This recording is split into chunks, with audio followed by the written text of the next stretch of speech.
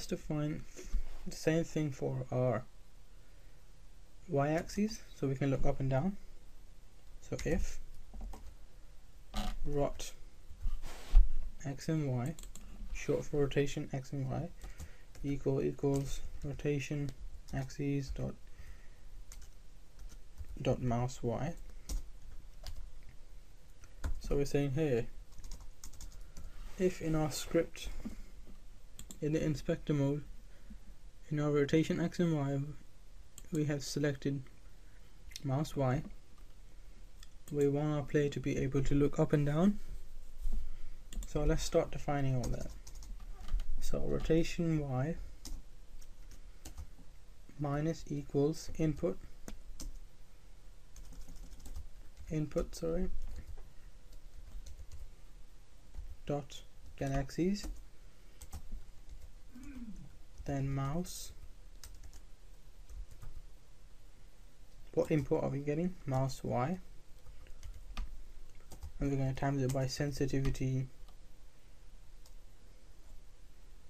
y and times it by time dot dot time.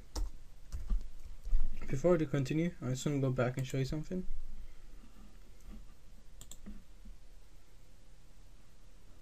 do you remember I said that why we use sensitivity? It's because we want our player to move smoothly while making a 360 turn. So if I set my X to a thousand you can see how fast he makes a turn now. If I lower that down to say 10 he will move really slowly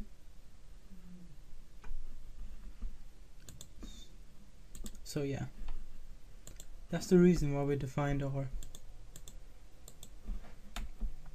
that's the reason why we defined our sensitivity and why we times it with our input. Let's continue back to our rotation um, y. And we're going to find a new quaternion for this as well. So quaternion. We're going to um, make a new quaternion within it it's going to be called y quaternion. It's going to be equal to quaternion dot angle axes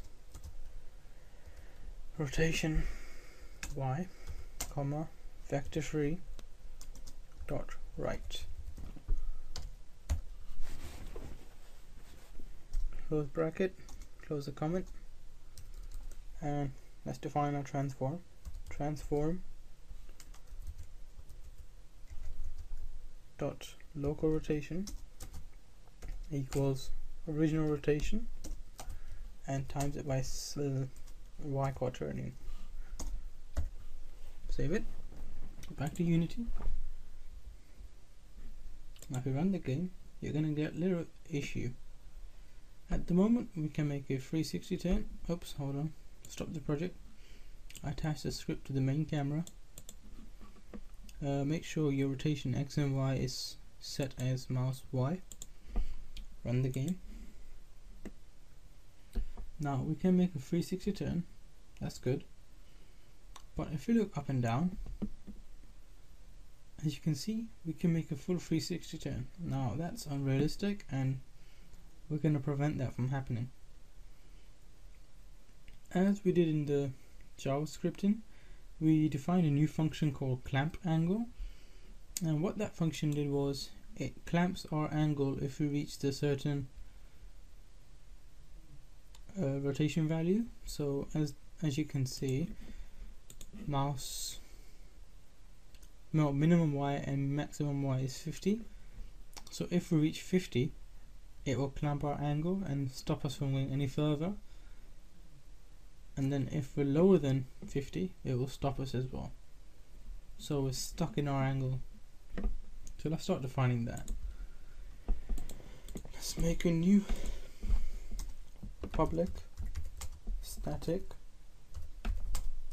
float type first then the name clamp angle open bracket float angle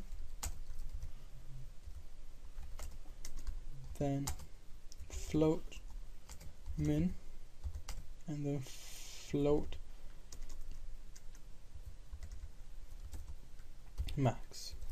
Close that bracket. Open curly brace. Close curly brace. If open bracket close bracket open curly brace close curly brace. Copy this if statement paste it right underneath the first if statement save it so we're going to say if angle is less than minus 360 we want our angle to add back keep adding up until it returns to 360 so angle plus equals 360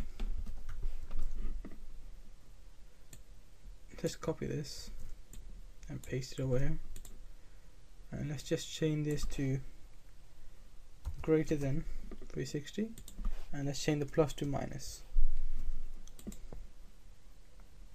Now what it's saying is I'm going to use our examples above. If our angle was minus 45 on our y-axis if we have gone further than that angle stop our angle and make it equal to 45 so we cannot go any lower than that or higher than that. And this is doing the exact thing same thing but it's doing it for our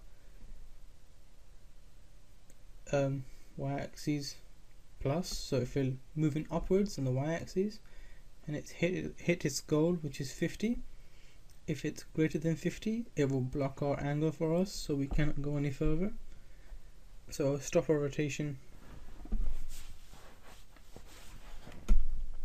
But at the moment this won't work because it's not returning anything. So I'm going to add return. Maths f dot clamp. Open bracket. We're going to say our angle which is the rotation we defined x or y our minimum and our maximum. Now that's all set. Now what we need to do is go to our update. Under rotation x our plus input. Add the following line. Rotation x equals clamp angle and then we said we want our rotation. So rotation x comma and then we said we wanted the minimum or minimum x and then we said we wanted a max maximum x. Close it off save it copy this line paste it for the y as well change the x to y's capital y's not small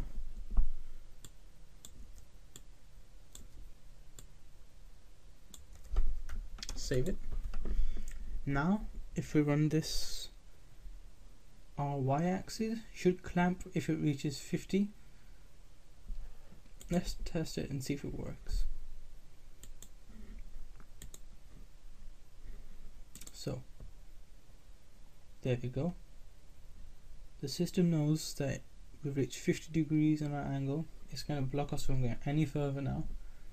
And the same with the bottom as for the x-axis we are freely allowed to make a full 360 turn. And that's what we're looking for. Fantastic. So yeah guys well done.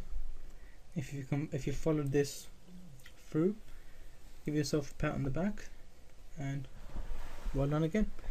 So basically this is how you would create this script into C sharp Now just to give you a heads up about the tutorials, every time I want to create a tutorial, I will be making it with Java first, because I will explain it in Java first, and then I will make the C Sharp tutorial showing you how to convert that script into C Sharp. Because like I said, both have different syntax and they give you errors if you just try and copy and paste. well, I hope you enjoyed watching, and I hope you learned something new. But before I go today, I have a special announcement to make. I am looking for um, an animator and a modeler. Basically, I'm not just goofing about with these tutorials, I'm aiming something really high for you guys. And what I want to do now is start getting some environments built. Well, not environments, I could do that. Uh, models, characters. Because when we use our AI, I'm going to start using animation and I'm going to start actually using a model instead of a capsule, which is very dull. And I'm going to start introducing cinematics in our game as well. I know it's a bit too early, but people ask for it sometimes, and it's really interesting. And the most important update is the reason I am looking for animators and a modeler is because one of my friends has asked me to make an upgrade system, and he told me that he would like to see an upgrade system like Crysis where you bring your hand up and you have a bunch of GUI stuck on it, and if you click on this GUI, you unlock this, and then upgrade your weapon in real time. So I'm going to be making something like that for you guys as well so you can see how it's done. And yes if you're interested please leave a comment below or send me a PM or email me. I'll be looking forward and thank you for watching. Hope you enjoyed. Bye bye